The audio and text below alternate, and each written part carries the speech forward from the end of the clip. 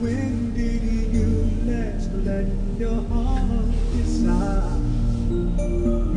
I can